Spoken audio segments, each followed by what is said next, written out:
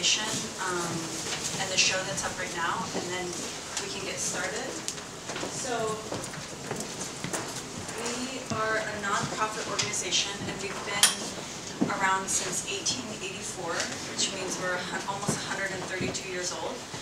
And we support, the mission of the organization is to support emerging photographers, um, videographers, lens-based artists. So to that end, we have a bunch of different programming. We have our conversation series, which is what you're at here tonight. Um, and we invite two to three people to come and speak in conversation. And generally, it's an emerging artist with another emerging artist or with someone else. We also have a guest blog, and we invite someone to blog for us for three months. We have a zine fair, which this coming year will be in June. So if you make zines, um, stay in touch with us um, any way that you can. Our newsletter sign-up sheet is in the back if you want to sign, sign up for the newsletter. We have um, a workspace residency program. So if you are not matriculated in school, starting January 1st of whichever year that you're applying for, you can be a workspace resident, which means that you have three months of access to the darkrooms and digital facilities through ICP. Um, we partner with them to use their facilities. We also have digital scanning stations downstairs. And you get three months of access, you get a stipend of $3,000 and film and paper to make work. And then the following year, you get a solo show here and you get another guaranteed $2,000 to put your show up and potentially more depending on our funding. So it's really like a fabulous program. It's free to apply. The application already passed. But next year, if you're not going to be in school, I encourage you all to apply. And then we have our guest curated exhibitions. So curators or artist curators can propose a show and the exhibition committee looks at the show that they propose. It always has to be emerging photographers or mid-career underrepresented um, photographers. So this show that's up right now is called Venegas and Venegas and it's two Mexican photographers, a father-daughter. Um, Jose Luis Venegas is a wedding photographer and he started shooting in the early 70s. And so his work is, in the show, is a collection of archival images from 1972 to 75, and they're around the corner. So it's a table, and we had to move it out so more people could come in. So if you just, you can look back here at the end of the talk, or tomorrow's the last day to see the show. But the work on the walls, um, minus the picture that's here, which is downstairs, um, is Yvonne Venegas, and she has been shooting, um, she went to ICP in the late 90s and then went to school at UC San Diego, and she has been shooting the upper class society in Mexico since about 2006, I think, and she's sort of turning a critical eye um, on that community. And this is work from a couple different projects. There's three of her books in the back if anyone wants to check them out later. Um, other than that, um, I can't, I think that's about it. Um, ask me if you have any questions. We also have like workspace memberships, so if you want access to dark rooms or like an Imacon scanner, we have a very good rate um, to join as a member. My name is Libby, I don't know if I said that, but ask me any questions later, and um, without further ado. Is there any more space up there where you are?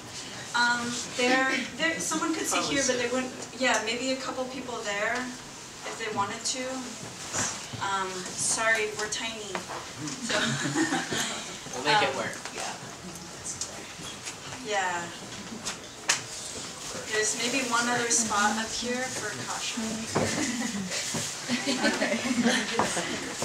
Or if someone wanted to, maybe like one person kind of in the center. Yeah, tall person. Sure.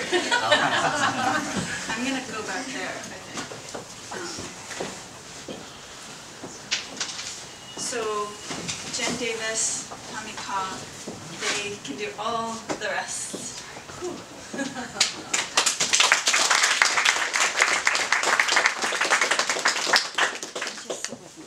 so we're going to start out tonight sharing our work with you. Um, I will present, Tommy will present, we'll talk about our folks as well. And before we spoke about just having this open, like a kind of more of an open dialogue too for the audi- audience members, everyone, the participants that are here too. So it could be more of like an intimate conversation, it doesn't have to be like a big Q and A at the end. So if there's questions that come up during when we're speaking or during the Q and A, talking kind of process and we should all. Yeah, interrupt, that's fine. We're like really friendly. Yeah, Right. I think so. Okay, I mean, Shall I turn on the live room? yeah.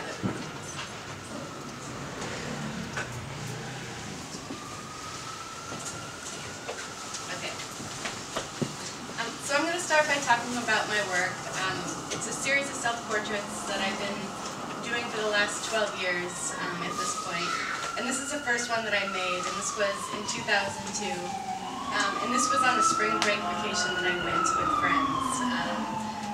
Turning the camera on myself happened when I was in college, just undergrad. My last semester in school, I was grappling with identity, grappling with what my image was, and not really being able to communicate that with other people as I was photographing before. And to really kind of get to the bones and the nitty gritty of what I was trying to say in my work, I realized that I had to, you know, have be have some kind of courage and stand in front of the camera. And I didn't have an idea of what the pictures were going to be. All I knew was that I wanted to shoot in color and I wanted to see flesh and I wanted to see tones and I wanted to see red and skin. And this picture particularly was made out of like this feeling of discomfort where I was on a beach and it had been a while since I'd been at a beach or in the water and exposed in a bathing suit. And it was really uncomfortable for me, so I wanted to make a picture that kind of dealt with that discomfort. Um, so I set up my large, you know, view camera camera at the beach, set, put my friends into position.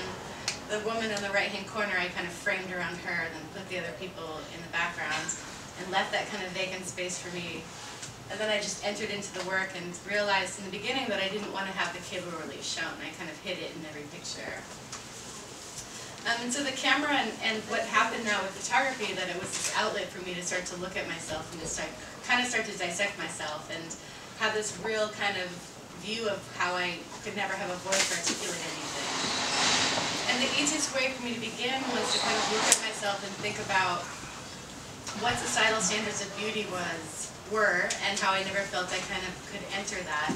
And so I was, I was creating these scenes or creating these pictures with other people, looking at the body. And also kind of looking at my body and kind of the physicality of it and the kind of how it was hard to do certain things like get up off the chair when I would observe other people doing it. So that's just kind of what thrived the work in the beginning. Um, and also, like, a, a lot of it had to do with discomfort and with about abundance and with about a body and feeling uncomfortable in a space and photographing what those feelings were. I started to think a lot about intimacy in my work too and the kind of sensuality or the sensual self. And I wanted to photograph what that kind of felt like or what it looked like as I realized that this was something I didn't have in my life. And also just observing the physical shifts of the body and using this large format camera and how it was something, how it depicted something larger than life, or like the, the camera, the big negative, and it like picked up everything, all the little details that I couldn't even see with my eye. And I started to think about this notion of privacy versus public, of the private self versus the public self, um, which really kind of drives the work for the, um, a couple of years. And this was the first picture that was made in that place where it was about weight, it was about the body, and I was exposing myself, and I had never exposed myself in such a way. Um, dealing with light and color and setting up a stage, setting up this place with another person, where the light kind of entered in, the light now facilitated something differently. Where I set up this camera the night, the day before, I saw the lights, I set up the camera, I waited for everything to come and play. The light entered into the room, and then it became action. It was the performative self that was being projected in the work. And that's the first time that performance was ever part of my work. And again, like with the light, it was so important for me to cast light in a way that was believable, to kind of create a mood with lighting. So this felt to me the bedside lighting, and that would note a certain kind of emotional state that I was feeling, and the kind of psychological state that I was playing with in my work at that point. and also taking risks, and I realized that nobody had to really see the work, it was just for me, it wasn't on display. It was just me looking at myself, me looking at myself in a more vulnerable way. And also kind of thinking about the interior space and, and waiting for the light to be perfect, waiting for the color, everything to kind of line up to make this kind of perfect image, so to speak. And another thing too, what terrified me about working was that I felt like what the camera saw was the truth. Like there was something that it had over me that was more powerful than what my eye could see. And so this picture in particular, there was something about this discrepancy between beauty and grotesque of body depiction of, where, you know, the, the beauty comes within the towel that, because of the focal point and the light, it takes on a more luscious kind of state. Looks like velvet. And then the kind of, how the body ripples and it's like this mass and there's skin. And that's like this grotesque kind of nature and depiction of the body, so I was interested in playing with those two things. And as I began to work too, I allowed for the camera to see me, I allowed for the camera to depict what the scene was going to be. I switched formats and everything kind of changed, where now I had ten images to make. And it wasn't necessarily my vision, I was allowing for the camera to see and to record what it allowed to see itself. And very kind of working in an observational way. And over time and over making these pictures, I realized what was missing most in my life was this relationship and this desire and this like need for intimacy and I felt like this is something I couldn't experience. It was only with photography, with the aid of photography, that I was able to enter into an intimate space where I can ask someone to do something with me. And this was a roommate that I had that asked to photo, make a photograph with me. And it was so innocent and easy to make, but what happened in the end with looking at the work over time is that um, I was directing my gaze at the viewer. I was like looking at the person looking back at me. And that's something that I didn't, had never done at that time. And it wasn't something that I realized that I was doing when making the work. But the kind of residue, if you will, of, of looking at something over time, this is a little bit striking to me. And I kind of made these little scenes, these sets of working with another person um, within like this fantasy of what a relationship would be. But I was really interested in light, and I became really familiar with light living in this apartment. And I, these are scenes or sets that would kind of take place over time and would change, and so I'd reuse these places. And there's something about the way that the light, the kind of the sexuality almost in a way, or my sexuality, how it was portrayed through the way that the light was projected onto me. And then the agency of light too, and how it would kind of come into an interior space, saturate it, and, and be be the narrative or create the narrative too with the work. And I realized too I was looking at myself or open to being much more vulnerable with the camera than I could ever be with another person. And that was part of the process of looking over time. And in retrospect too, I realized what I was doing was kind of creating or placing a beauty onto self, onto myself that wasn't necessarily something I could believe. So with the aid of light and palette and control, I can place beauty onto a subject that was not conventionally seen as beautiful.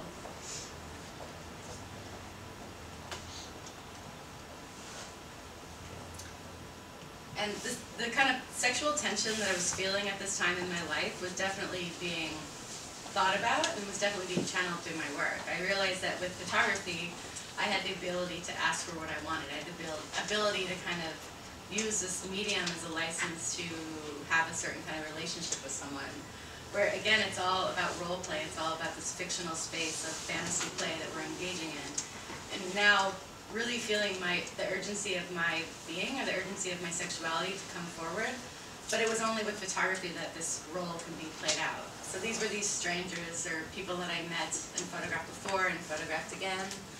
Um, and I was really kind of searching for my identity and searching for what it would be like to be in a relationship or this sexual kind of counterpoint with this person.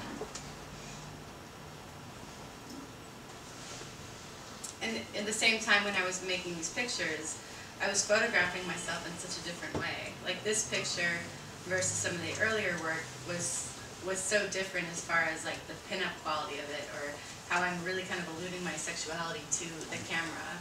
as if someone else was making this picture, as if it was like this fetishized body of somebody that was on the other side of it, receiving this image. Like recording a mark, recording like a mark of some kind of exchange happening with this person.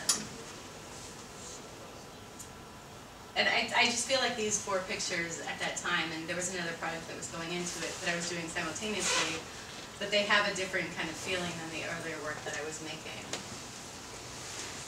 Kind of like fast forward, and there's other work that kind of filtrated into this, to my practice, that aren't kind of being shown tonight, but um, working with men, working with like exchanges of sexuality, working with the gays. Um, and I took a kind of break from photographing myself because I was really interested in photographing the other.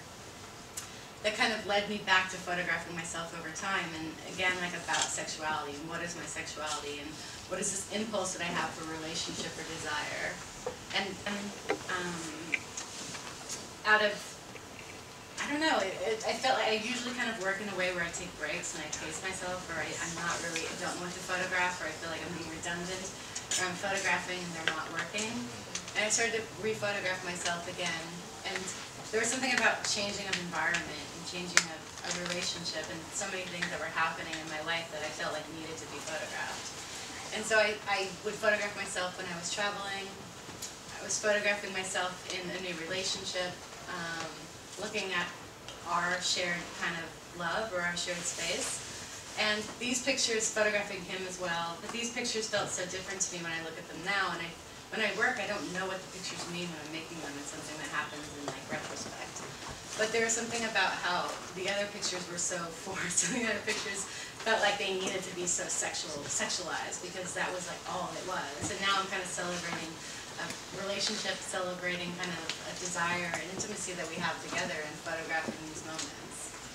And then photographing him as well and looking at him responding to the light, responding to things that I'm really drawn to in, in their pictures. I have a question. You were, you were talking about like the period where you have blocks, and then you Wait, keep we have what? like block, not Block, yeah, yeah. And then, you, I mean, your subject's always been yourself, and you did it for a longer time. How can like, it's easier now to see everything and think about it, but at that time, because there is a lot of moments where you were not feeling good or you're questioning everything, mm-hmm. and then you stop and then you kept doing, but all your pictures have different like directions. Mm-hmm. How you deal with this period of not working, and then how Well, you keep yourself back? I, I'm, I, am still working, I'm like making pictures, but they're not working. You know, they're like, they're not successful, they're attempts at something of progress, of moving forward. They're pictures that, you know, are sappy or sad, or they're pictures that just don't have the same kind of, they don't have an agency to them that I want the pictures to have, where, and that's like the problematic thing about making work or making new projects, where you have an idea, you have something that you want to communicate, but it's not necessarily working. Like for a, a year, I've been trying to like communicate something new. But that's like kind of the joy of it though too. And it's like when you make a picture and you learn something from it, or that changes that changes your whole value of like what what yourself is or how you look at the world. That's like part of the process too, you know. But just like shooting through it and like constantly trying to move forward as well. Mm-hmm. Right. Switch so over. switch spots. Yeah, uh-oh.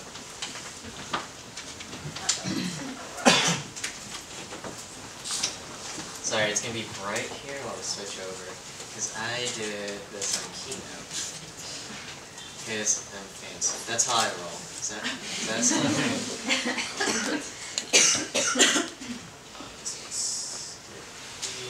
Hi, everybody. Thanks for coming out. This is amazing, and I just want to. I didn't know I was gonna show these, but I guess I'm gonna show these too. Alright. Um. Yeah. Sorry. So there's my notes. Um. I don't know. I felt like this is a little bit fitting to. Um, the last year I started photographing my, in my childhood house again. Wow, it's, like you guys grew. Yeah. It's brighter in here. Um, and so I'm gonna start this start this one off with like um, this is the beginning of the my book. I just came this uh, um, I just came up with a book. Yay, the first one. And it's like, Jen also has her books here, just so you know. Um, we'll have- It's a weird feat um, to get to that point because I never thought like my pictures would leave my computer. um, but a little bit about my background is um, let's skip to a funnier picture. There you go. Um, I I moved here at the end of 2009 um, for a semester, and I thought I, was I'd start a new year in a new city, and it was the first time I'd ever left um, Memphis, Tennessee, where I'm from, born and raised. And um, before then, I was photographing my friends, and usually it was around people who were musicians, and I was doing this whole um, just photographing other people and just making portraits. I was like more of a portrait photographer, and moving to a new city where I only knew four people um, that had their own lives, and I didn't, I had no, I didn't have anybody else to photograph anymore. So that's when, like, that was like the moment where I really like turned the camera to myself, and I thought that was a really like powerful act to do. Um, despite the implications, like I'm a readily available sitter. That's usually the case. Like when we turn to ourselves, we're really accessible, um, and we're trying to figure something out. And I always like consider like there's, there's a theory like the the camera itself is like this kind of mirror um, to ourselves, and it's weird. It's five years in the running, and then like change. I've I have, I have a curl now. My hair is different. I'm still in the same height, but um, um, but I'm not going to show the earlier work that's got me to where I was continuing photographing. I'd be brief about it. But I did a project where I had people kiss me and I didn't kiss them back. And I'm technically still working on that, but um, that was like, I started that in New York and I never um, made out with people, like with a lot of people before then. So it was really great to um, get that going and just like um, find people at the bar and like just approach them. It's like it's for art. Would you kiss me? Um, in that order. Usually like, drinking will happen. I photograph them all at night, and it was like one of my um, like looking at that. A lot of things came out of the, that body of work of the idea of like performance and performing for the camera, and performing for myself. I was thinking as the camera as an extension of my body like your shadow being cast on the street is very like the, that's an extension of your own body, your, yourself. Um, and my deadpan face, uh, I I would just accept the kisses, like being kissed, but I didn't kiss them back. And um, just uh, the like confusing the role between like being a camera operator and being a sitter, so like you, you touched upon earlier.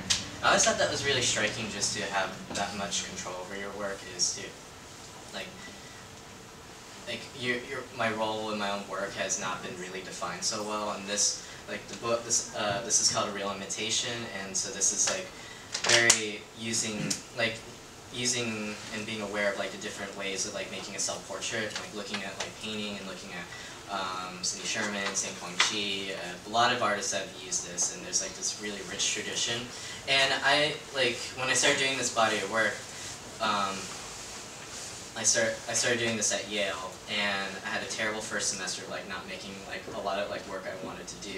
And most of the time it was because I didn't photograph myself. I wanted to do something way different than like doing like something that's so expected of me that I got in for. And then I realized like, well, actually that's like what I should do, be doing. And so this is like the the more actually the first successful picture I did, and it's with my best friend who's six seven, and it's uh, this kind of compare and contrast and trying to share the frame.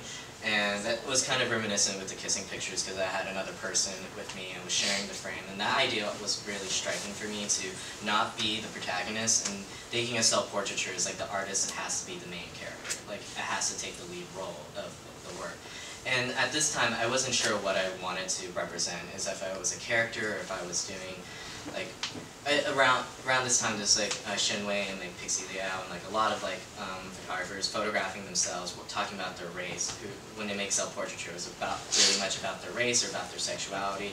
And I'm gay and Asian so it's like that's really confusing and from the south. And like that's all that stuff is, is happening and operating. I didn't know how to go through it so it was just suggested it's like just do all of it. Like what's the point? Like make the pictures is what's going to matter at the end.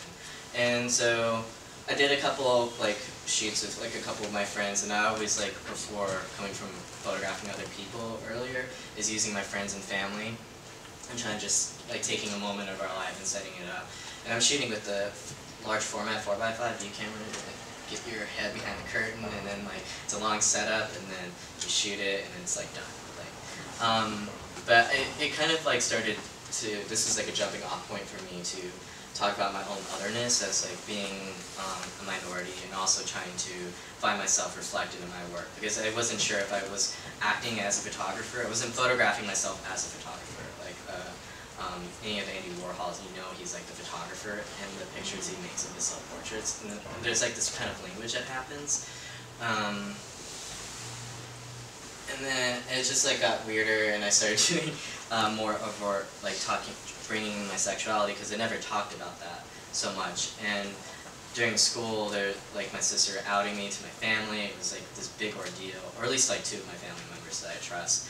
And I thought it was like a good like way to like go get into that to to think about like how does my like I never actually get to talk about like what what it's like being gay because I'm a terrible gay person. I have not that many gay friends, so I don't know how like what that is. So maybe there's a lot of sex that happens. and so this is like where these pictures are from. Like oh, I'm like meeting people and like pretending these like situations. Where are you meeting them? Um, school, the internet. Okay. Mostly school and the internet. It's like friends of friends, and it's weird that I, um, even with the kissing pictures, approaching like friends and strangers, um, updated, it's like there's like this ready, like they're ready to go. Like I want to be in your work. Like I don't care what it is. I'm a straight guy, and a lot of my uh, my my uh, the guys that you see are actually really straight, and they're like really like into like pretending to be in this kind of relationship with me. I didn't make a lot of those pictures because they got really weird quick. um, but one of the things is um, that I always associate with self-portraiture is the idea of like identity, and I really try to avoid using the word identity because I think it's very synonymous. It's like this. It's said, it's stated out loud, and I wanted to explore um, a lot of different techniques of how to make a, a picture. And I want to make still lifes and I want to make landscapes and how do like these landscapes and still lifes operate as a self-portrait. And one of the things I put together is a portrait of my grandfather.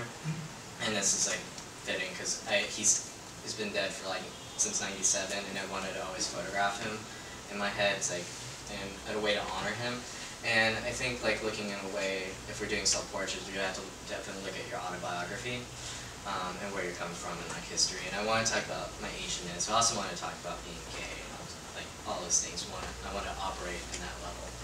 Um, and these like and one of the things that is a weird character, secondary character that came out of these self-portraits is like my childhood house. Like that's sort of like this kind of extension. Besides the camera, besides that shutter cord referencing like your extension of yourself is like things around me like could inform. And this is like my early bedroom, that just now is my mom, and she has a Britney Spears picture. she wanted to be close to my sister, so she hung that up.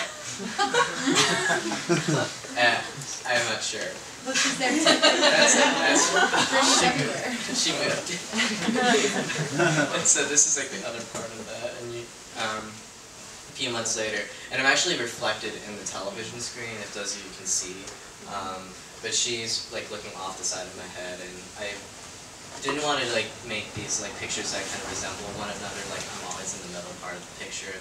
Like I wanted to really change my position and like how do I photograph myself, and like part of the process is like sit, having people, your friends, sitting on the chair where you're gonna sit for the picture, and then I realized like, oh, I just want to make this picture because I'm gonna sit there, but this is a self-portrait. It's gonna be like just because you're, I'm gonna sit there, but I change my mind. It, it's still like that kind of thing, and it's part of. I feel like that's like a very typical thing if you're making a self-portrait. Ask your friends, sit there, and then I'm gonna put the focus on you, and like trade places with me. And so those pictures are also in play.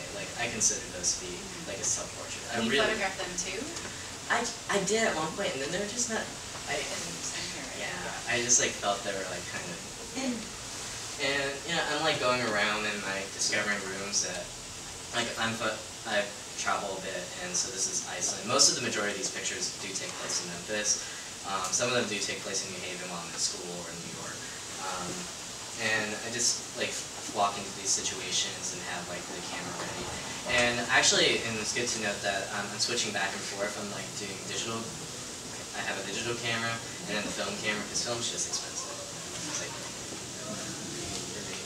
And I mean, like thinking like my body, um, how like how it fits into a scene. Um, there's no nudes in these pictures uh, in this book. Sorry, guys, if, if that's what you wanted. I, haven't done it yet. I, I, it's such a weird thing. I haven't. That's like one of my challenges. Is like I want to make a new picture of myself. This is the closest I've, I've done it. And this is my roommate's room. He was gone for Christmas, so I like. I got naked and just like. You mentioned that you use digital and uh, analog. Mhm. Does that bother you that you are changing, or you, you said you mentioned you, you switched to digital? Um, I'm doing both. I'm going back and forth. It's like film and then digital. It's like, and that's I, um, I don't really engage in film if it's the analog or digital argument because, I mean, my understanding and historically looking at photography, like the types of Polaroids as photography, and like I don't think it's any different if you shoot something digital and then you shoot something on a, on film. It's still photography for me, and I feel like that's that's something that, that should be the most important thing. Sorry for the radiator. So you don't think that there's like, uh, like one, like you don't need one medium for this project, it's okay to switch between cameras? Yeah. Would you do like smartphone? I've been trying to. That's actually something that's I, in my new body of work. I'm trying to bring, like engage in selfies, but I hate it. I hate it so much. Um, well, I'll get to that towards the end. If you just remind me, I'll, I'll talk about that. Um, yeah, it's like going around in, um, in Memphis. I was like um, shot at in Mississippi, like making this, so there is like some um, some stuff at stake. I'm gonna use correct words. There are things at stake. I just like these cardboard cutouts so much that um, I just love this one. Like it was a, a stupid picture I wanted to make, and it turned out to be a lot more than like after I made it. It's like, oh, this isn't the canon of like what I want to do, and it's like it's a very easy language to access. Like filling my role as like a masculine person, and then my partner is like this female thing, or like just art is empty. Yeah. Um, because it's like being coming back again to photographing myself, and like I just didn't want to just be in front of the camera for no reason and just take a picture and then be in the space. Like I, because I wasn't sure what I wanted to rep- like represent anymore. Like uh, growing up has always been in Memphis and Tennessee. It's just people point out like my difference. Like I, there's never like a day like growing up like people comment on my eyes or like um, I went to an all black school, so they're all, like their limiting knowledge of Asian people is like Bruce Lee or Jet Li, and that was it. And maybe the Chinese food place down the street. That that was like their like there's like there's never a moment where I felt like the experience just being a normal person where I'm like being treated just as a person like who I am. Like there's always this conversation commenting something about my demeanor. Then like when I realized I was gay, like that was a whole different thing. People are like, You're very effeminate and like they say something, they want to say something about your character. And that's been like my ex- my everyday experience. Like I still like can't walk into a marketplace and people someone come up to me and try to guess my ethnicity, which is not like something people should do. it's like, I'm trying to buy orange juice. Leave me alone. I'm, I'm Chinese. There. Happy. Um, and then I want to talk about being so like these Elvis cardboard cutouts into, came into play. And you know, I'm looking at other photographers too, and I wanted to be really about like how to make a photograph. It's really about like for me making a photograph, making self-portrait, like figuring out like how to make these pictures. That's, that's still uh, are about myself. That was already in the closet. I found it that way. Um,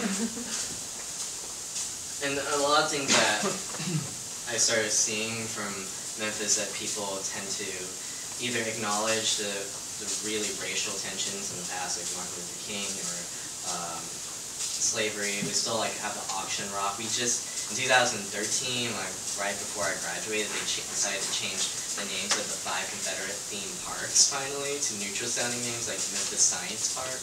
And it's like that took you that long. And so there's like this kind of um, tension of where um, seeing something and it actually means something else to entirely to a different set of people. And that's how I felt kind of parallel to like this preserved place is actually where um, Elvis Presley was discovered, uh, but you wouldn't know that. It's just like this kind of replica, like this antique kind of thing. And so it kind of I like like photographing spaces that operate in two different levels. It's like I think that's how I felt like people interact with me is they either think I'm Asian first because my parents, and then they realize like, oh, you're from here. Like we can talk. Like you can talk to me. Like there's like I feel like my identity or like persona shifts. But being outside of like Memphis or Tennessee, right, and like if someone sees, not from there, and a picture of Elvis Presley Mm-hmm. with your work and how you're kind of weaving him in, in the narrative, weaving him through the body of work, where he's this like strong, there's such a strong sense of masculinity and power. And so how does that kind of play when you're putting that in place? Like when you're like inserting this into your pictures and the narrative of it all? Yeah, I think I wanted to like put a bookmark. It's like I'm from Memphis, and Elvis is like easily recognized. Like he's always associated with Memphis. I think the other only other ones like Evanston, that not a musician, but those are like when Right. people think of Memphis. And I wanted to point out like I'm from here, and like I can talk about it. And I think it's like coming up pretty soon. Um, that's a yeah, I made funny pictures. Same thing. Um, I'll, I'll- point it out when we get to yeah. it. Um, yeah, looking at Lee, Lee, Lee Friedlander's um, book of self-portraits just came out and just was struck by like, I never realized the shadow could be an extension of like just my body without having to appear. And so it was just like finding these spaces and finding like the timing. And so it's in between like this whole performative aspect of it. It's like, oh, turning, like photographing yourself is like, that's so, it's very performative. In a way, it becomes staged. And that, like, how did I make this real? Like, how did I make this um, closer to what I see in reality, like, without having to do that action? It's really hard to do because once you like get the camera out, it's like there's this Thing. it's staged automatically. It's like there's really little room to- for anything to be real or present myself as real. Like, and then like using the shutter recorder is like hint like I'm the photographer. Like that's the character I wanted to play in that picture. And I like like I think of like Martin Kippenberger. I was like thinking about him lately, and just bringing like a painter from my painter friends. Hi, painter friends. Um, and there's he did a um, Jacqueline uh, the paintings Pablo could never paint. Um, it's like eight paintings of Jacqueline and based on the photographs of her in the studio after um, Picasso passed away. And I really love the idea of just like how just a self-portrait, like it just made me realize like how that opened up. Like the camera itself just gives us so much room to play. The idea of play is Fantasy, yeah. yeah, play and performance and fantasy is like this. It just opens up. Um, yeah, I just I didn't want to really hide anything that I could find that I thought was funny for me, like a sexual humor, because it's like, oh. And then someone thought I was like, is the plant you? Is the plant the stand-in for you? it's like it's passive, like you are. It's like, but I'm photographing it. But and you're aware. It's so this kind of slippage of like me not being the photographer, but being a presenter of my own work.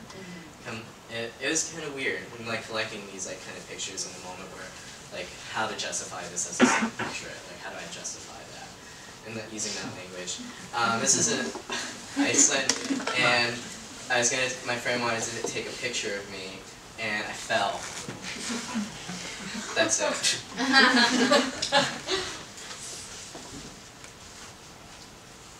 And like you, and child at home the rug like oh oops.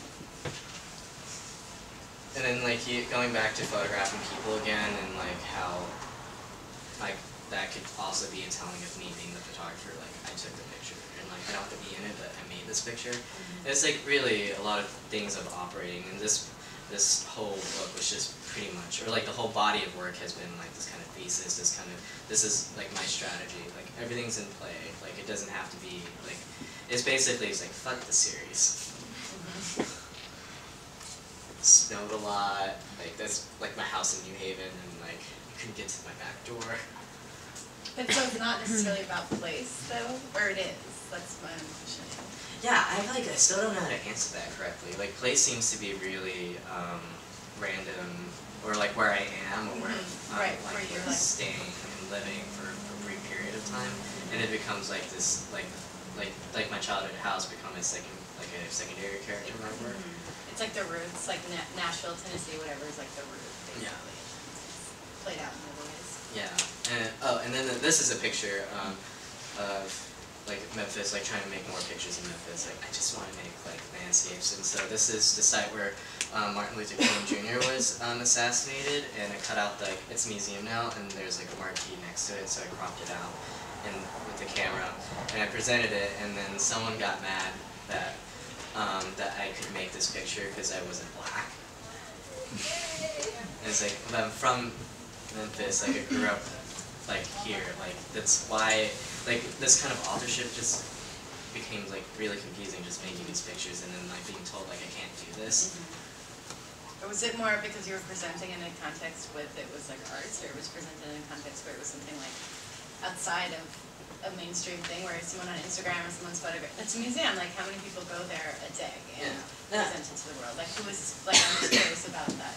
Yeah, they knew they actually were the only one that recognized that it was a civil rights museum and knew like that was the site. see. And everyone thought it was like an outside of a motel. And it was presented in the context of like school critique and like it. just wanting like I wanted to make like besides all this there's like other these other markers like I wanna look for these things that to bring into History. yeah. It's like this kind of building my mythology. And one of the bigger themes in my work is this idea of likeness, like um, how like just photographing yourself and then you change your hair your next day, you grow like you grow a day older the next day and then you make this picture and it becomes really like that's not that was you. Mm-hmm. Like thinking all of that. And so found these twins, I thought they were triplets, and I was really confused when the third brother never came out. So I just made this and became like their third per- person, and I wanted to start doing this kind of type of mirroring and false mirroring, because you could tell like the subtle difference between them. Like they're, um, they're I guess they're identical, right? Yeah.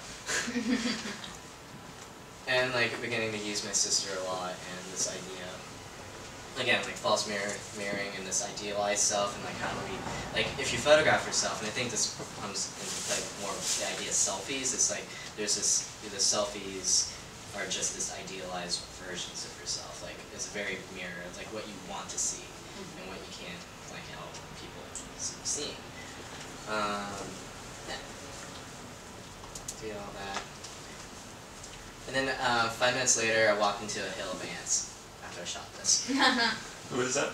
uh, that's my uh, um, undergrad friend from Lola. She is like one of my um, good friends from Memphis, and so I wanted to like.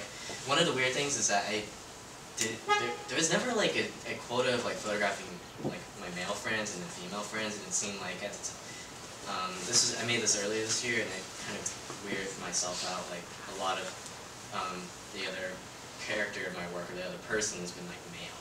Like so I wanted to find someone that was like, she has been, I photographed her before, like a way long time ago, so it just made sense to come back to her, um, knowing like all this is happening, knowing what I want to photograph now. That's- And I wanted to make like the, you know, masquerade is a big part of self-portraiture, like the history of people, again, that, the idea of space and play. I grew that mustache in a day, it was awesome. And, and like thinking the, the, the scenes of like where I was and I wanted to like this is like an example of uh, setting up the camera and then like putting focus and trying to put, photograph myself in it and then I realized like this is a much better this is more telling than me being in a bar it's like this is me at a bar photographing this part of the bar which I think this is like really popular. Like I think Christian Patterson photographed it, and like the jukebox like was right next to it. Mm-hmm. so there's like this kind of inside joke happening. And one of the weird things that started coming out of it was like this disembodied head. My disembodied head was.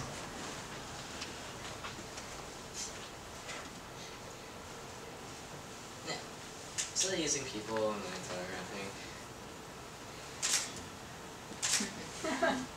So we don't have a Dairy Queen, we have a Dixie Queen. and then repeating the disembodied head with another person. This is a stranger that works at the flea market. Yeah.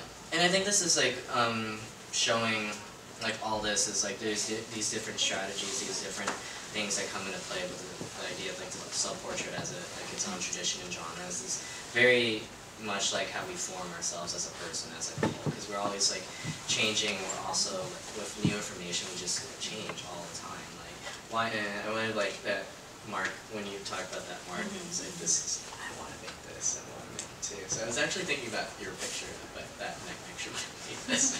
It's like I fell and on the steps. It worked.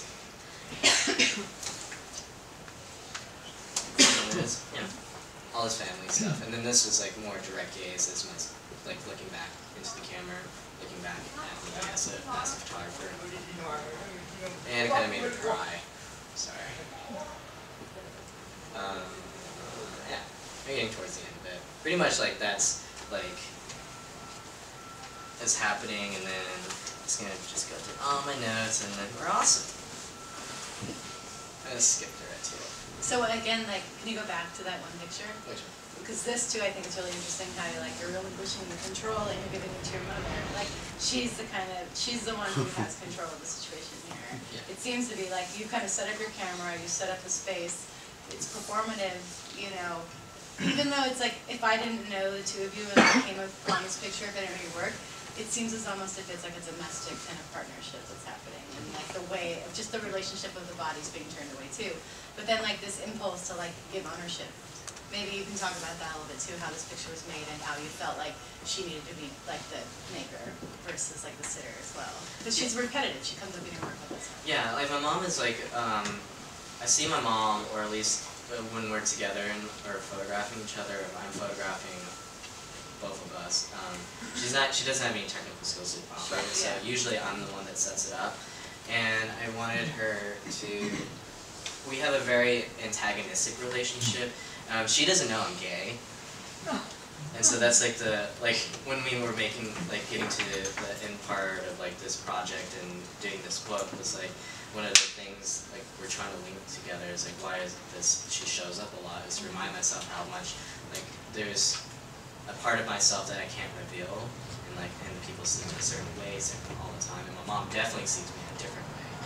And it's becoming harder, like each year it's growing, and um, she she doesn't have access to the internet. She doesn't like like she's not really well connected to like knowing this part of my life. So this like all this stuff is happening, and she doesn't know it. And like I'm comparing all the stuff, like lying in bed with like other men, or just Right, that right. stuff is happening, and I wanted to at least have some sense that we have like these kind of calm, like calmness. Like there's a, despite like I'm seeing her as like this kind of villain or this antagonist that we, if she ever finds out, I don't think it's gonna like work out that way. So these are the pictures that made. We were made. Like this is the only. These will be the pictures that will be the both of us, and that's it. That's like that's all I get. Well, stop. My, si- my sister being in this is like helpful. So that's been my. And then I like recreating stuff and referencing like and reusing people again and um, yeah. It's just. I found this guy because I thought he looked like my friend. but he's 6'5", so not the same. He's like two inches shorter. Man, I really should have got this. And. And this is the last part of the, the this is the last picture of the book for that ends book. Um, yeah.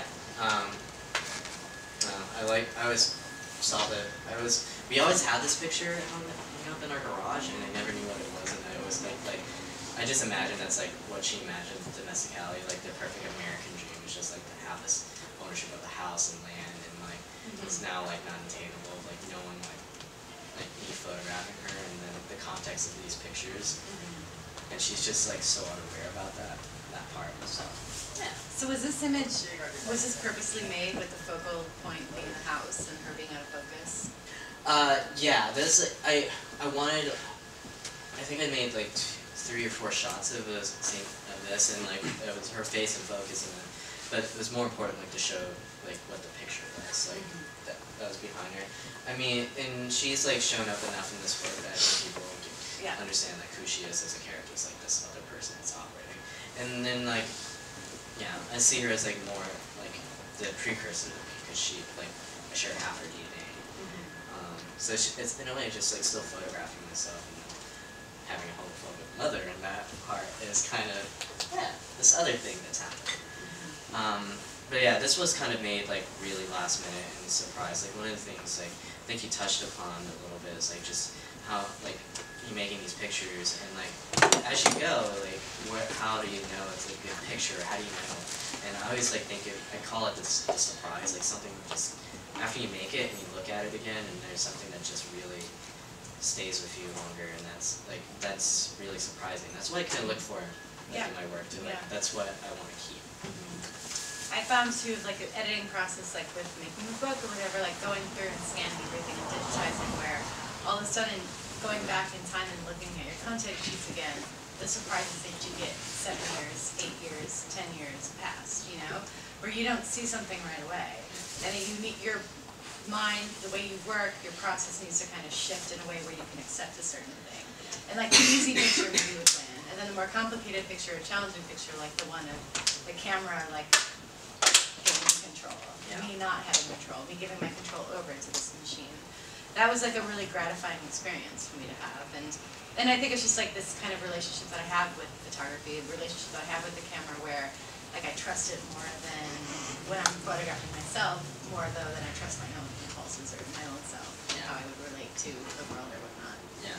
And so it sounds like if you stay at a place, like if you- you're talking about like rephotographing um, places in your apartment that you're familiar, and then you just change the composition, you put the camera back, and it like looks different, and you know how you fit into that space. And like mm-hmm. when the camera comes into play, it's like it's cutting off something, it's leaving something out, and that's. But the most important thing is like you know where you can be in that that frame, within that frame, like how the camera you see. It's like this. It's, it's such a weird struggle. Yeah. Is it really me or is it just the camera? Like, is it more the camera than my eye? It's, mm-hmm. Mm-hmm. I don't know, something I really don't know how to answer, if that's something I want to. And something like, um, goes into, um, I guess we could talk about the book our book. Yeah, our book, but one other thing too that I just wanted to mention also with like, which is kind of striking about your work too, and, and how you're kind of balancing this negotiating photographer and subject, where you're allowing for it to be wide open, right? You're allowing for the landscape, all these like interior spaces, Elvis, objects, whatever it might be to kind of enter into it. And maybe, and then negotiating a place where you can be both, like, and, and you don't have to be in front of the camera, where it's an impulse and you're making the picture, but a lot of people don't. It's so, it's such a different space to be entered into. And I'm thinking too about like your mom and how if we didn't, if we weren't sitting here, we weren't privy to like having this information, we know that it's your mother too.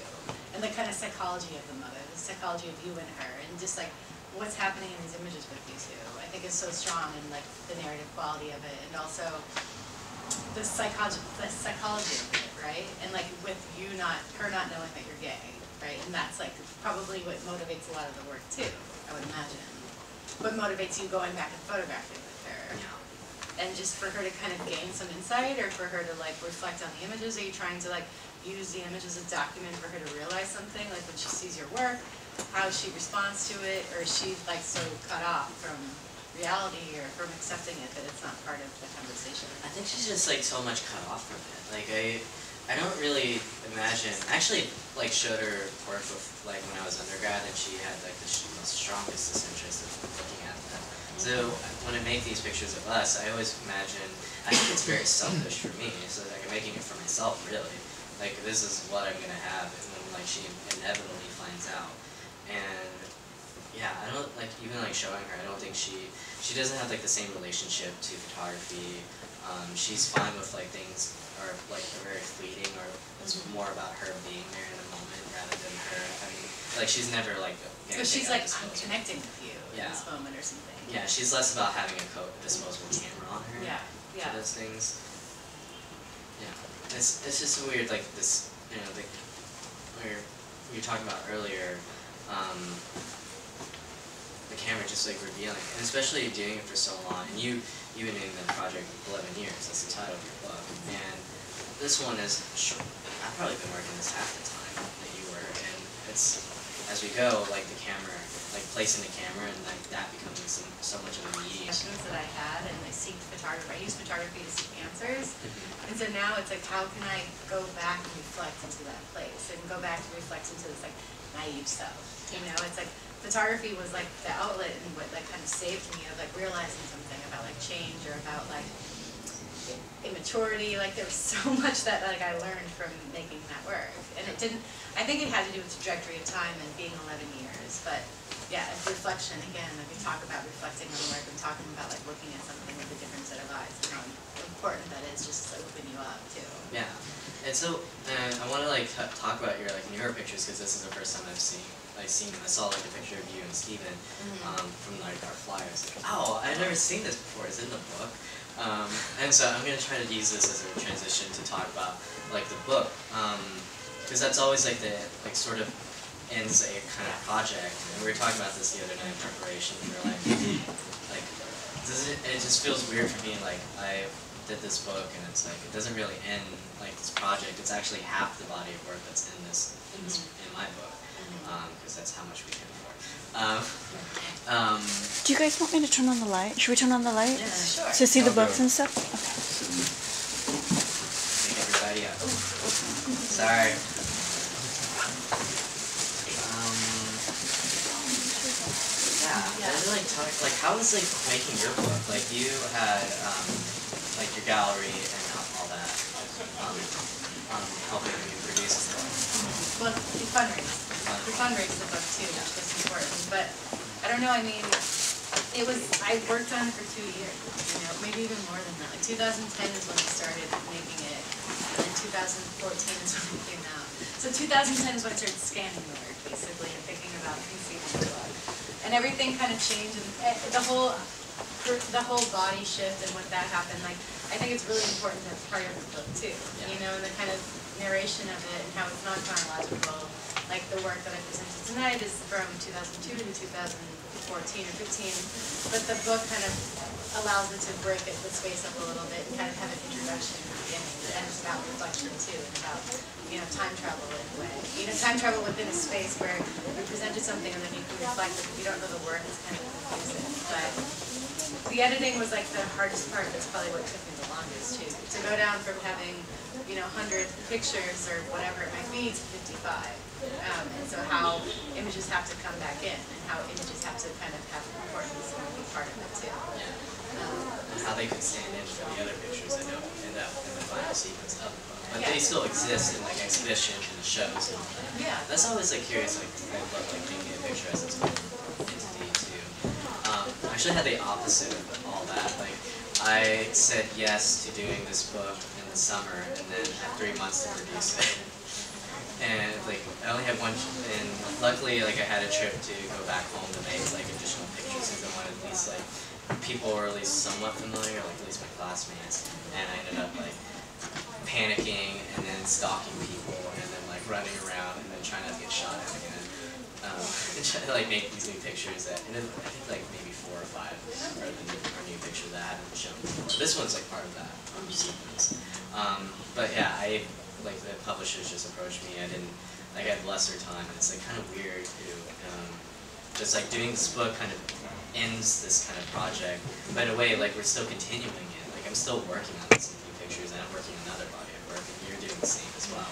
It's like can you talk about more of that? I think it's like- Yeah, I think that, well, for one thing about the process of the book too and titling and whatnot, where titling was like a really hard thing to kind of come about, because I've always just called the book self-portraiture for whatever reason. And with titling, like I didn't, I felt like making a book is such an ending, right? It's like a, a stamp of being something ending and being done. And I didn't want to have that be part of the work and so, or part of my process, so I felt that titling it with a number, titling with a year, eleven years, can be, I don't feel like I'll ever stop photographing myself, like there's times when I'm really looking at myself or looking at a relationship or my relationships, and other times where I'm not interested. And so to kind of place it in time and context of time, because the work is all about sequential time as well, that it had to be part of it too, where it didn't, it wasn't like, it was an ending point for me. And that's like the fear that I have now when I make a picture where it feels like super redundant.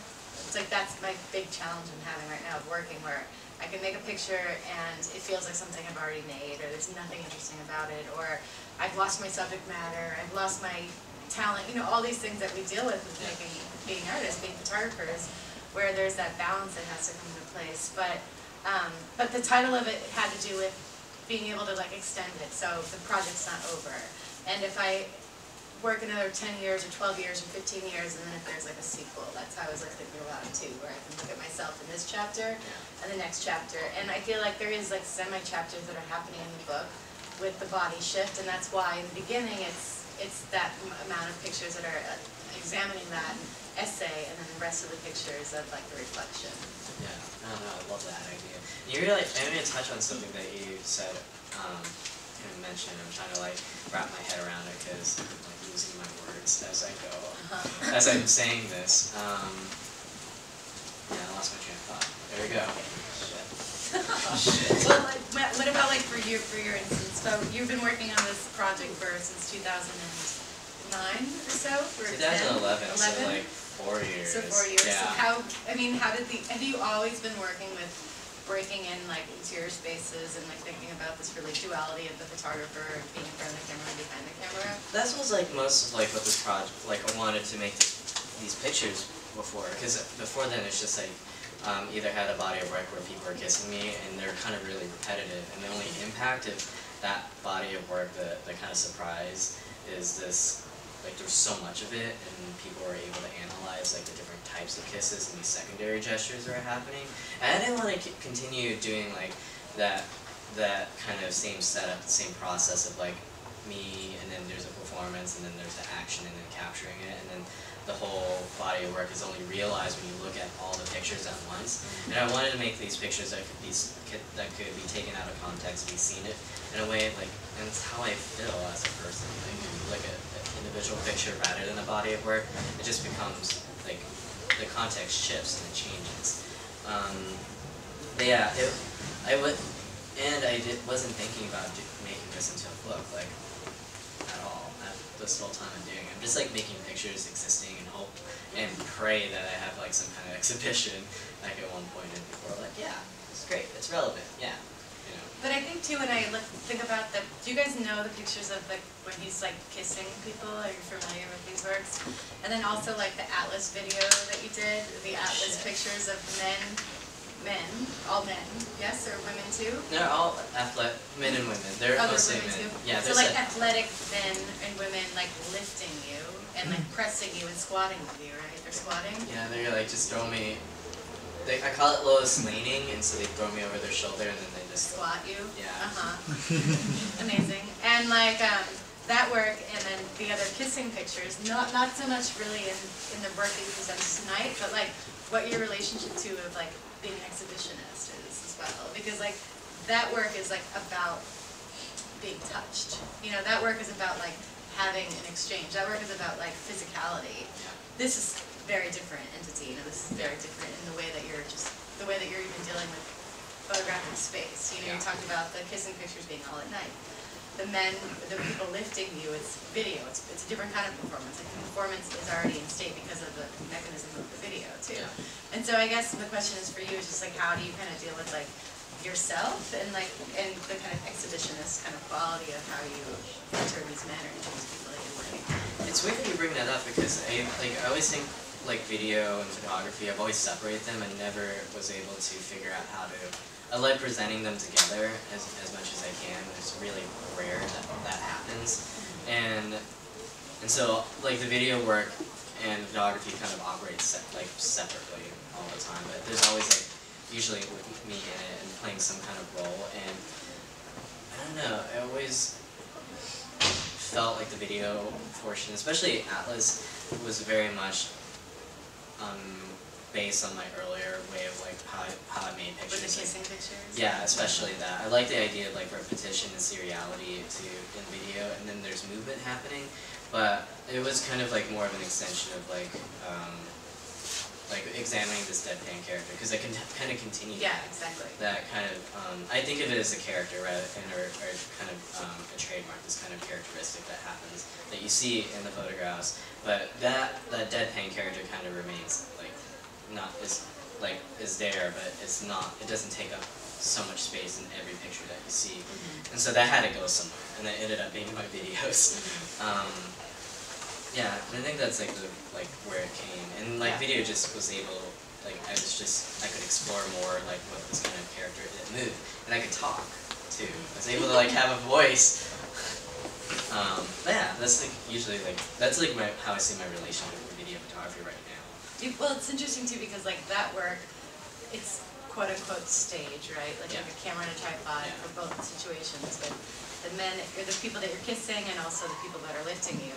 This is the same similar situation where it's camera and tripod, it's very stage. but just the overall feeling of them because of the humor or the tongue in cheek or whatever you wanna call it, um, element in that work, it's like it's it's easier, you know, where this you're like challenging someone to like look at you, Yeah. look at your mother, look at this home, look at Elvis, and like again this like the kind of the sexual connotation that Elvis kind of brings up, and this Yeah. male stereotype of this kind of masculine, like women throwing their panties and bras and like be like that, you know, Yeah. and then and then that's filtered and yes, it's from because Memphis and whatnot, but I feel like there's more than that besides just like being place. Yeah, it's it's just I'm still figuring it out. I, I think I now remember what I wanted to bring up earlier is this idea of struggling. Because just, like I wanted it to be really challenging, obviously, and humor was such like an easy thing for me to do at least, and I mean I, I think I knew how to do it, and I think I still know how to be funny, I guess, um, and yeah, I think it was like when you have like humor, when I have humor in my work, it was easy for people. Like I was able to, if someone laughed, I understood that they knew something about the picture that I wanted them to, to Mhm. know, and I wanted to make that like, like still be there in my work, but also like not happening at the same time. Because sometimes there's a joke, but you, do you get the joke or do you get the punchline? And that's like, that's like happening. And this is like, what's happening? Why am I making these pictures? And I wanted to make these that kind of work to just not make it easy on myself. I wanted to struggle. I wanted. I still want to. Like, how do you just make pictures again? Like, I was trying to relearn that. You know? And like, I'm doing it as I go. And you're you're more reflective. You're more like looking back. And, but you're also now making these new pictures. This new body of work is like you know being like I'm trying to. God, it's hard. It's hard. Um, yeah. Should we open it up for questions and stuff? Yeah. Hi. We didn't here forget go. about you. We didn't forget about you.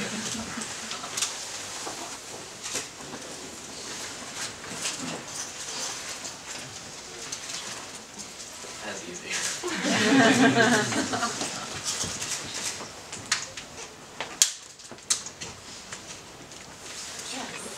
Oh yeah.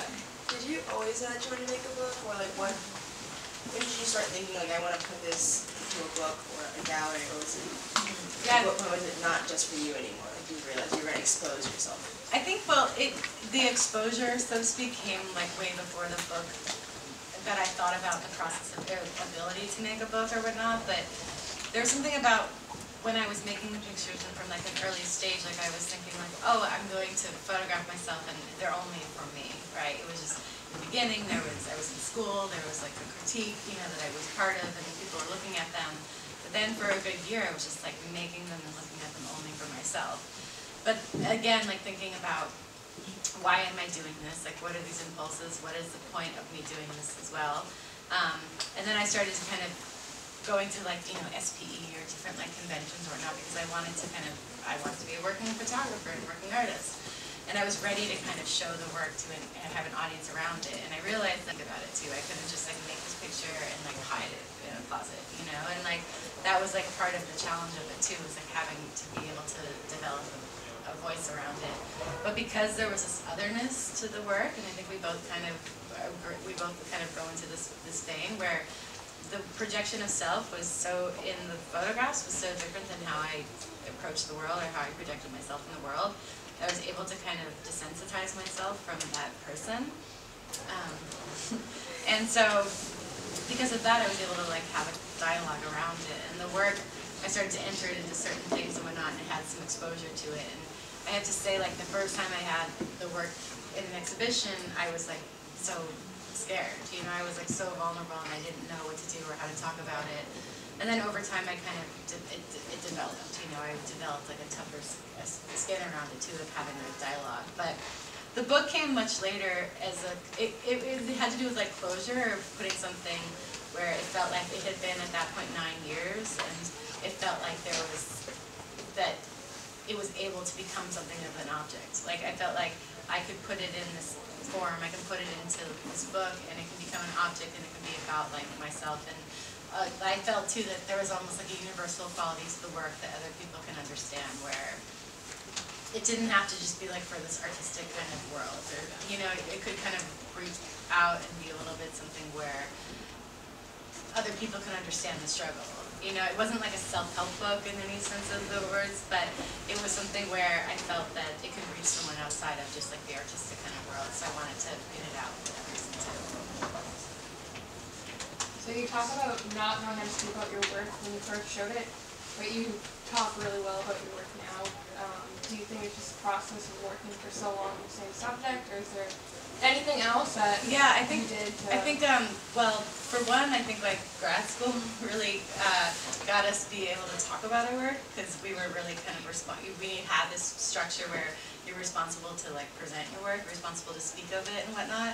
And I, when the, if this was the first time I talked about it, I would be not being able to speak about it in just such a way, but it was just about like, like I said, like kind of taking ownership of it and like really understanding what these impulses were, really understanding what I wanted to communicate with these pictures and really separating myself. Like there is such an otherness that I like deal with in when I'm like making a picture, when I'm talking about it versus like how it relates to someone. Yeah. So, and it was just like the process, since it is 11, 12 years of work, that I've learned things through it and I've been able to kind of discuss it in a different way.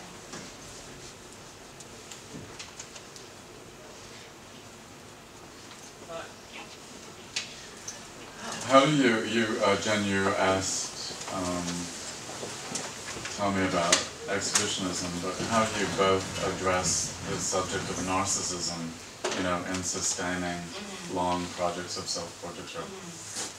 Yeah, I think that's something that I really struggled with in dealing with the kind of notion of being a narcissist or a notion of, of someone uh, criticizing me for being that, where in my my understanding of myself was that I was far from that, you know, that I was far from anyone even pigeonholing me, putting me into that category that and and still at this point too, it's like I'm and in the beginning as well, I was like really insecure and really um, inhibited by someone saying critiquing my work, saying I was self-centered or saying I mean the first show that I was in was called Self-Centered. And I was like, oh fuck. what is what am I getting myself into? You know, like this is what they're categorizing me as. But I feel like I was able to I was able to separate myself from it because I didn't believe that like I had a trait of any kind of narcissistic tendency or that I was so far beyond even loving or accepting that I could separate the two from each other. Yeah. I also like in comparison to people like hold out their phones and take pictures of themselves, I think like that is the opposite end of like what I'm trying to do and like I'm trying to figure a lot of things out. And there's for me it's I don't I there is a yeah, I'm not gonna deny the sense of narcissism. Sure. Like you turn the camera to yourself and you're the subject, but I feel like we both have something to say about our own experiences that not a lot of people get to see in the art world. I mean, only what, fifty years ago that we started getting more women artists or they started being recognized or written into canon. Before then it's like almost non-existent. They were there, but they were barely talked about. And what we're doing now is just like we've continue our own practice. It it might seem narcissistic, but I don't think it's I don't think it operates. I don't think it in that vanity. Mm-hmm. I don't I think it has to do with vanity, you know. And for me to do like when I showed like like a bunch of terrible self portraits and my first critique at Yale, it was someone looked at it and said, Well, this is honest. It's like, is that another way of saying self centered? and I think like and I feel like that's like just another way of that's just code. Like people are just gonna say something they really mean the other way.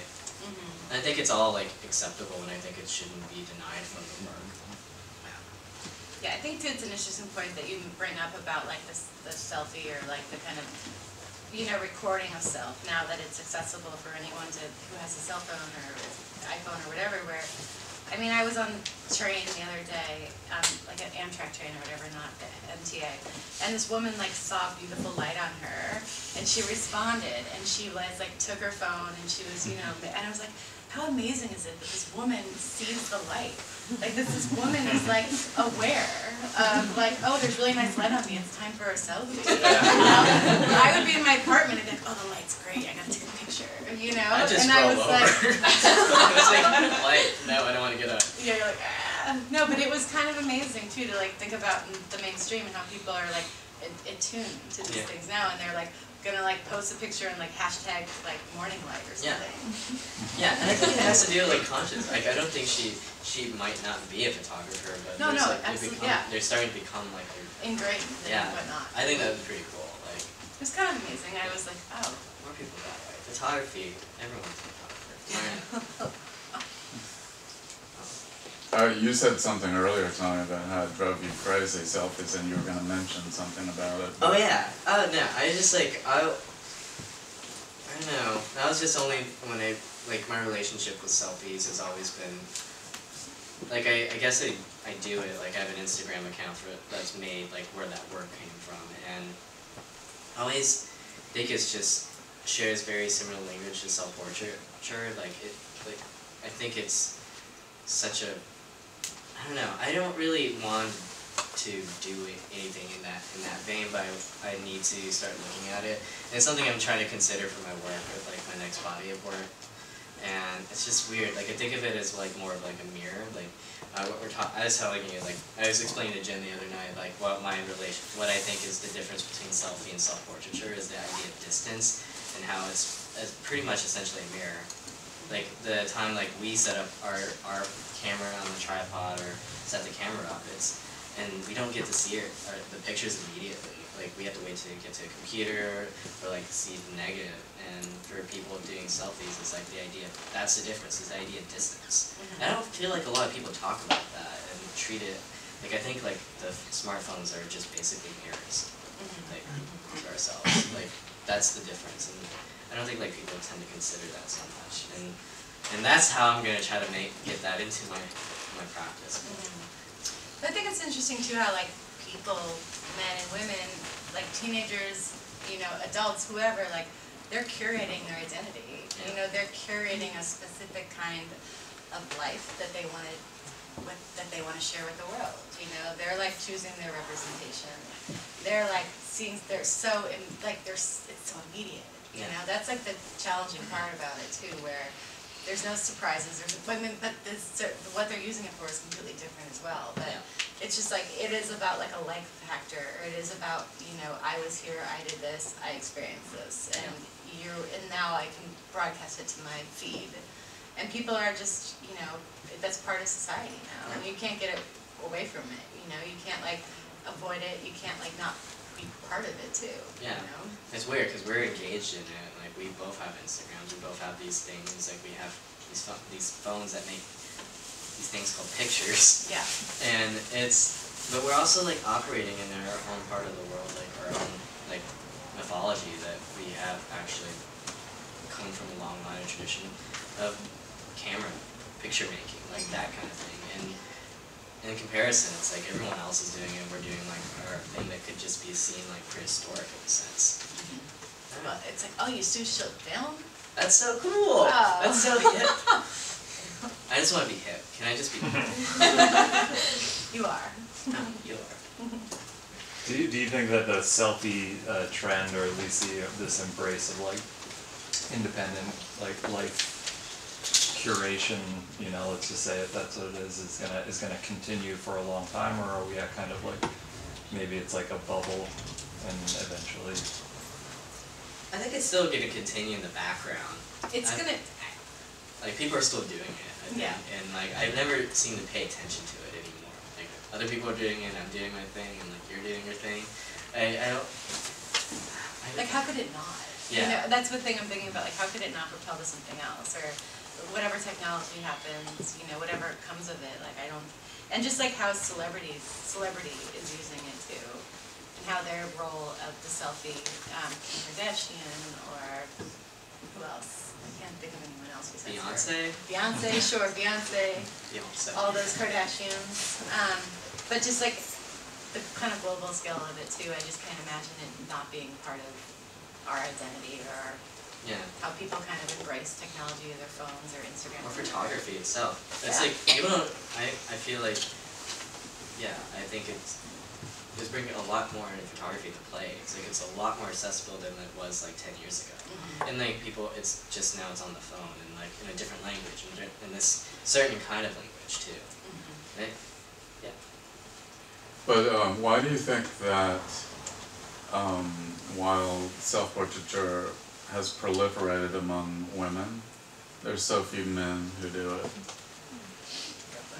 I don't. I don't think that's true. I think it's like like it's been a long line, long, a long line of it. Um, but yeah, there's Cindy Sherman, obviously, and Claudia Newton that um, that predates her, and who else? A lot of people. Anne Collier, even like her. God, I saw her show at H at, at the Art Gallery of Ontario. is amazing. Um, but yeah, I've always like. I think it's like been treated at when male photographers photograph themselves, and it's usually I've always like noticed that there's a pattern that they're always like more implied to be the photographer, like that was their role rather than like anything else. Like they weren't able to do be anything else. And usually that like skipped a case with Tseng Kwong Chi, but he was also like race might have been played to be able to do that. I think with women, they ha- just or photographers have, like had access to a, di- a deeper language where their body could encom- encompass. Like Cindy Sherman, for example, is like her being in a in a in a woman body, like was able to talk about things that are happening in cinema, and she was able to do that while Andy Warhol just used his fame to and like I'm the photographer making this picture. And that was like that's like the difference I see. Mm-hmm. I think there's always been like male photographers, but they're just or self portrait the male Yeah. photographers that use self portrait portraits, but just is like I mean, the only other person I can think of that is Lee Friedlander. They're. Productions, shadows Yeah, stuff. I mean, I think too, it's like, maybe it's a question of like a man's masculinity being challenged too, where it's like John Coplans, who photographed himself in an aging body too, where he was like being very vulnerable, like his work and showing his age, showing his skin, showing his sexuality, like totally exposed, like I don't think a lot of times like men, heterosexual men, homosexual men, whatever it might be, are like able to kind of engage in that. Or there's just like their, whatever it might be, I feel like women are more about exploring their bodies, exploring their sexuality, exploring themselves and, than so forth. so far as I feel like when I look at men who are Yeah. working. They're very, yeah, they're like male, especially white male, heterosexual white males were dominant so Mhm. much, and like seeing this other thing that's happening that has always been happening, it just, I think women like, I, I really honestly think women just do it better. And then our like, like the masculine role of like being behind the camera too, and like, I'm interested in that too, of just like objectification, you know, of like a man photographing a woman, but what, and I feel like when I'm photographing men, it's a project that I've done, like I'm, I'm assuming the same role. Yeah. You know, I'm like, I'm looking at them and I'm objectifying them. I'm like, it's not the reality of the situation. It's like this fabricated image that comes, fabricated photograph that comes out of a shoot. You know, Yeah. ten pictures or twenty pictures, whatever it might be. Um, but that role of like the gaze and the role of like ownership too, I think is something that's interesting difference between the two sexes as well. Yeah, definitely. Any more questions? Um, Jen, can you talk a little bit about, it seems like most of your images are inside, interior shots. And I was just wondering like where you're going now with your work, if you're shooting more outside, if you're taking yourself outside and Uh-huh. Yeah, I haven't really been photographing myself.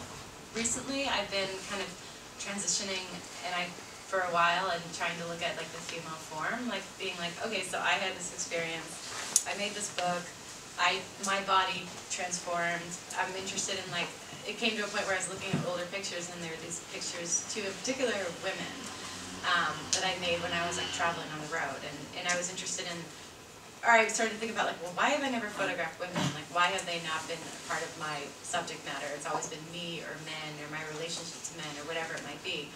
And so I, and I had this like big life-changing experience where I wanted to look at that, at like transformation in general.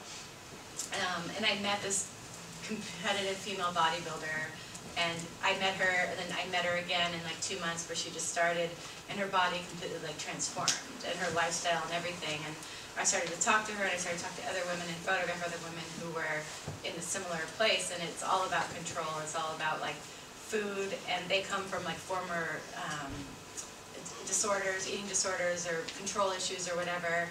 Um, and so I was, not all of them, I'm not generalizing, but most of them who I had spoken to personally.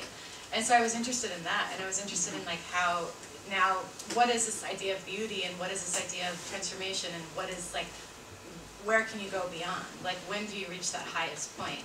And I'm interested in also like these women, how they're like getting on stage and, and trying to find perfection, and they're performing, and they're little slices when they're not aware, you know, photograph when they're not performing. And same with like the video that I'm trying to, the video kind of work that I'm going towards right now where, you know, I want to see like the, not the glamorous side of it, but like when they break, you know, or like when they're in, when they're tan, when they're all tan and performing and they depleted of food and water and they take pills to hydrate themselves and they're like totally out of it. Like I want that like mode. So yeah, that's kind of where my mind is at now for like continuing something. And I think it's definitely related to like my story.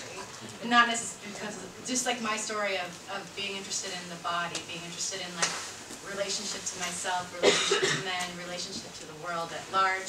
And then now again, like going back to like, oh, I can identify with this in a certain way. And I want to understand that, you know, and I want to use photography to understand that, and that's a challenging thing.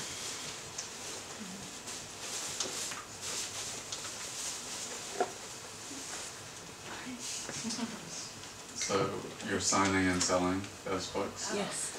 Yeah. Yes. Yes. Tommy's book is hot off the press. This book came delivered FedEx here this, today, yeah, this afternoon? Yeah, there's Yeah. like a lot of hiccups. Um, But it's arrived.